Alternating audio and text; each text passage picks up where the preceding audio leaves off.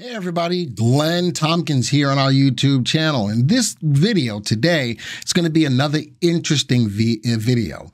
Why? Because people want to know what sectors or industries are rising, and VectorVest has that information at the snap of a finger, at the blink of an eye or in a heartbeat to give you that pertinent information. Not only am I going to talk about a sector that's on the rise, we're going to dig a little deeper because of the current market situation and find the stocks that actually pay a good, strong dividend as well. So if you're interested in knowing those two things, what sectors is on the rise or what particular sector is on the rise and what stocks within that sector pay a good dividend, you sit right there. So I needed a way to be able to come up with an idea of what sector is on the rise right now in our database to help you find some stocks to take advantage of. So it's very easy to do in the VectorVest software. As I get into the program, right here, we can clearly see I'm running something in our Unisearch tool called a Delta search on sectors. And what I'm looking for is a 10 day price delta, and I'm calling this a strong sector. So for those of you who are VectorVest subscribers, you will not see this search in your software. I created it for the purposes of really reiterating a sector, or in this case, you know, a sector that's really moving.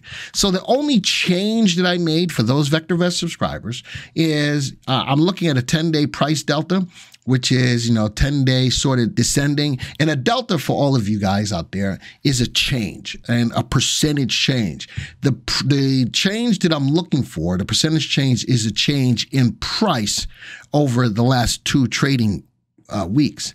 I added something else a delta, a 20 day delta greater than zero. So I also wanted to make sure that the sectors that were found were growing over the last 20 days, but growing more over the last 10 days, which gives me some confirmation of the sector's move. So when I run it as of the close of business today, petroleum, we all know that petroleum is hot and heavy, and it's the number one sector in the system. What if I am trying to find a sector before it gets to number one? And that's what I'm looking for right now. Energy goes right along with petroleum, electronic. Well, I went down to telecom. Telecom, uh, over the last 20 days, is up 2.4% in change in price. But over the last 10 days, it's increased to up to almost 7.5% over the last 10 days. So making money by price over the last 20 days and moving even faster over the last 10 days. That's how I got to telecom. So then I took it a step further. I went over to the viewers tab. I went to the sector viewer and I found out that telecom is the 16th best sector in the system. Let me take off my camera for a second. It's the 16th best sector out of 41 sectors in the system. So now, let me put my camera back on. I took this a step further. I went, right clicked, and I viewed the sector graph. And this is all, you know, setting up the table of why I picked this sector. Now, the cool thing is that a lot of people on YouTube are not even talking about this yet. Thus, the reason why I need you guys to share this video with people in your social circle. All right. Today, good day in the market. Look at the sector run, staying above the 20 day exponential moving average and closing out the day on very good volume going into tomorrow's open. Folks, you could be setting up right now on what to do. All right. So that's the graph. That's the sector. Those are the things that got me to the point of making a video on this specific thing. Now, next thing you want to do is right click, view the stocks in the business sector. And I'm going to do this. I'm only going to bring up the top five.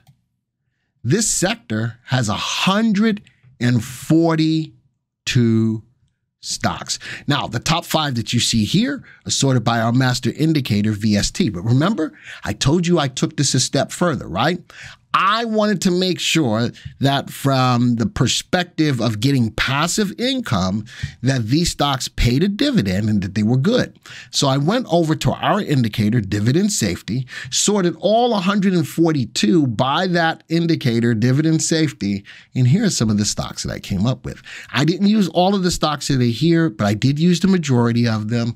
And now let's talk about dividend safety. It's got is on a scale between zero and 99, and look at the safeties of the dividends on these stocks. Uh, they're all either buy or hold recommended. Uh, they all have positive earnings and positive earnings growth. All right, enough said. Let's talk about the stocks that I want to talk about with you today.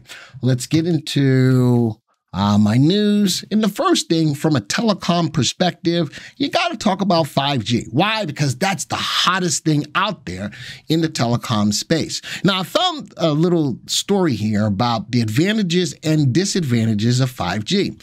Advantages high resolution and bidirectional large bandwidth shaping, uh, technology to gather all networks on one platform, more effective than efficient. So that could be a downside. It's not super efficient, but it is very effective.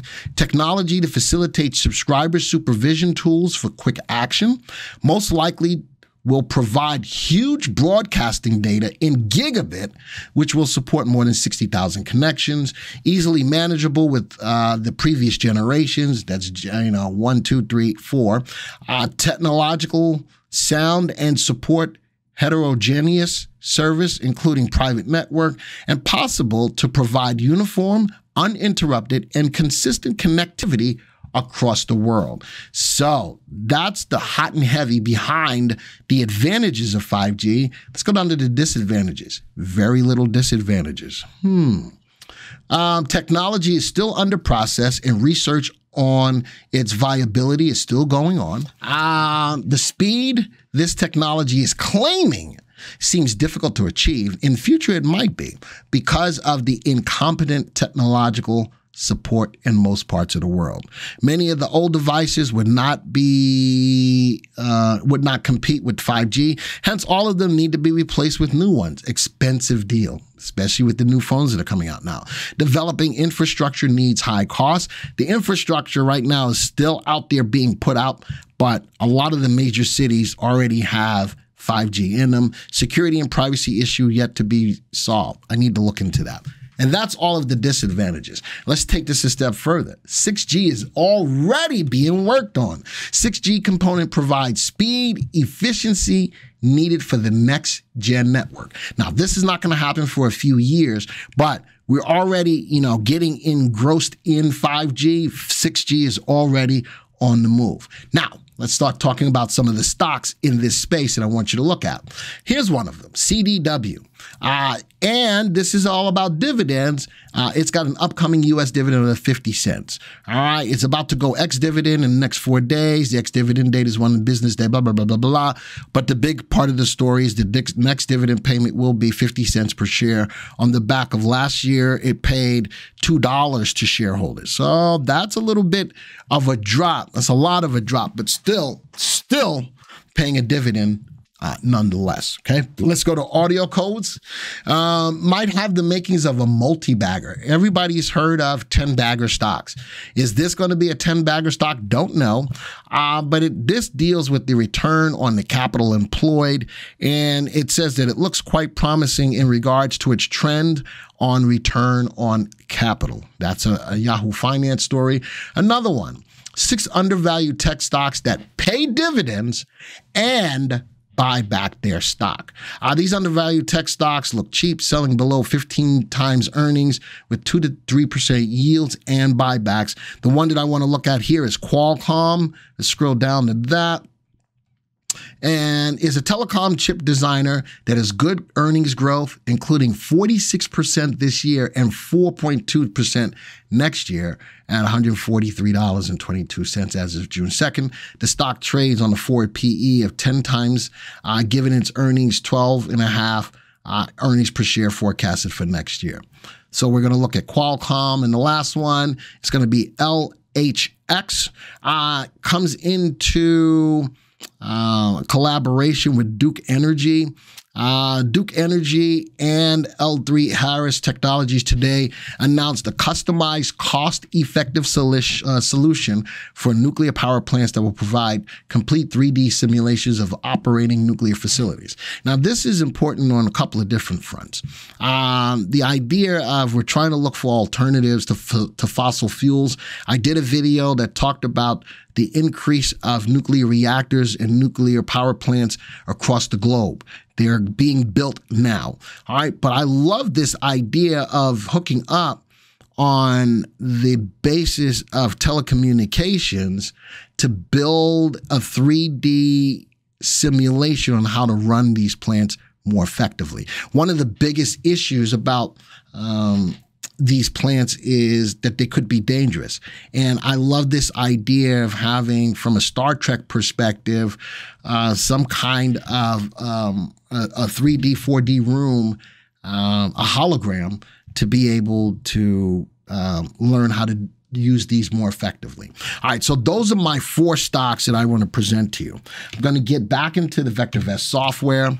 All right. And let's go over to my watch. Oh, did I just close the VectorVest 7? I bet not have.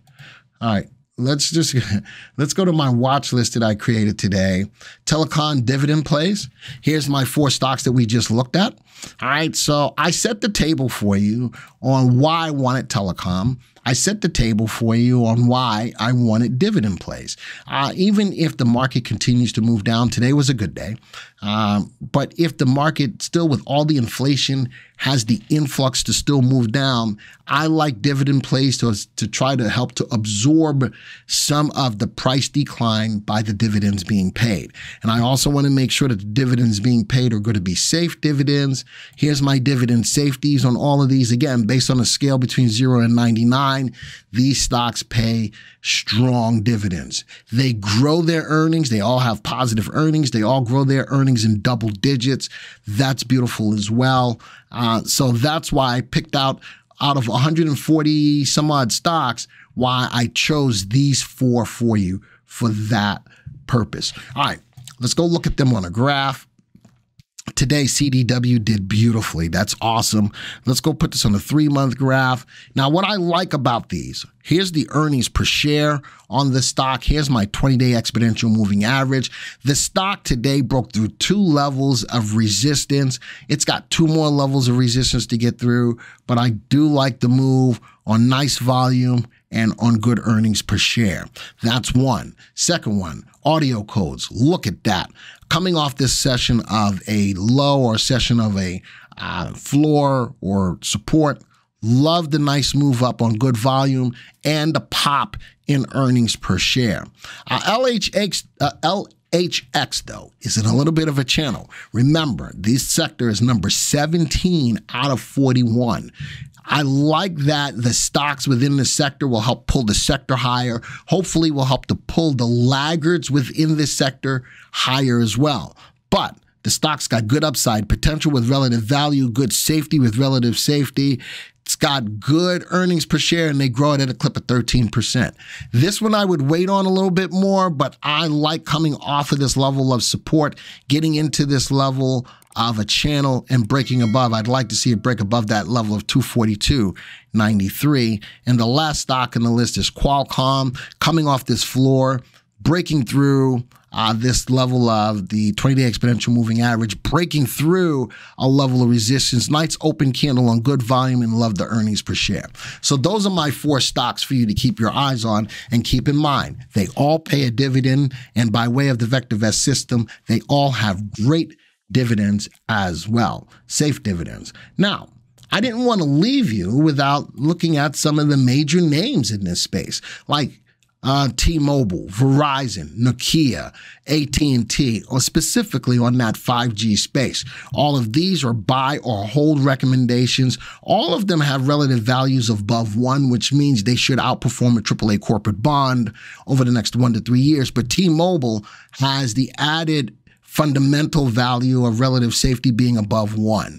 I do like the earnings growth rate and the earnings on this as well. If I'm looking at any one of the mobile services, from a stock investing perspective, I like T Mobile. Now, there's another side of that. It is definitely overvalued. And if uh, buying an overvalued stock is not for you, then you stay away from T Mobile. But if we take a look at these graphs real quick, let's do that real quick. Three month graph. Remember, I've already given you the four that I like from a dividend play, but I also want to look at the major players in the telecom space that everybody knows about. Love the earnings above the 12, uh, the 20 day exponential moving average and hitting a new high today on T-Mobile. Uh, Verizon sitting in a little bit of a channel, but definitely above the 20 day Earnings is higher than it was three months ago, but has pulled back a little bit uh, on Nokia. Now, this one is is in the uh, meme stock space, isn't it? All right, so be careful with this. It does bounce all over the place. Nice open candle today, broke through a level of resistance, and I do have a pop in volume. Uh, sorry, in earnings. And the last one, AT and T. Was that an earnings play? Uh, almost, man. Big gap down. Nicely trying to run up. Be careful with it. It is currently above the 20 day exponential moving average, but pulling down. And I don't like the earnings falling over the last three months. All right, with that, folks, those are my stocks from a couple of different perspectives. One, you want to be able to ride a sector while it's low and rising up. And telecom, by way of my delta, shows that it's gone up over the last 20 days and gone up even more over the last 10 days to give me more confirmation of the move of the sector. Uh, we've looked at some stocks and specifically looking at the dividend paying stocks in this sector. And then we also looked at some of the big names, the big mobile names in this sector as well to give you a nice, well rounded video to consider.